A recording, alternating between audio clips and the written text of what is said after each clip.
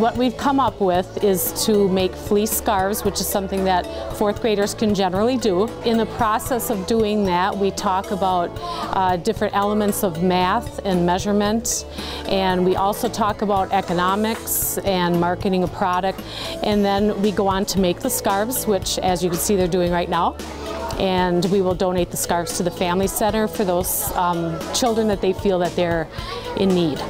Recently, Woodside fourth graders combined learning with giving when they turned a class project into a community project benefiting the Family Center. In addition to using their math, writing, and marketing skills, they helped other kids who are victims of domestic or sexual abuse. We have to set up kind of like storefronts, and then we have to buy and sell scarves and then after we're done with that, we'll have to give the scarves away to the Family Center. The mission of the Family Center is pro to provide shelter and support services for all victims of domestic abuse or sexual assault. The scarves that we receive today, we will be giving out to kids in our safe shelter and we'll also have them available for any kids that come in with their parents to receive outreach services. They'll also be able to take scarves home.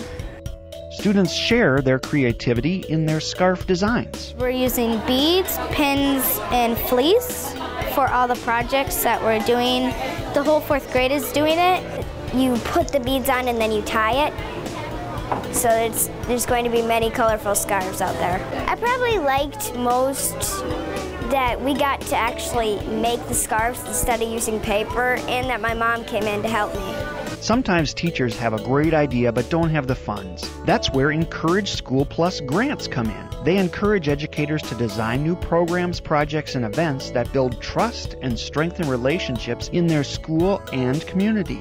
If we had not gotten that, we wouldn't be able to do this project again this year, so we are very appreciative of that. Really easy to do, filled out just an application, and they got back to us very quick to let us know that the project was, was ready to go, and uh, sent a check, and then we were off shopping. Through this scarf project, kids in our community benefit, whether they're the giver or receiver. A lot of times they come in with just the clothes on their back. So the scarves that we got today are just a little something special to make the kids feel safe and at home. The idea that they'll be able to help somebody out that they don't know who it is, I think that's a good lesson for them also. It makes me feel good, like knowing that I'm not hogging the scarves. I have like 20 in my house. Lisa!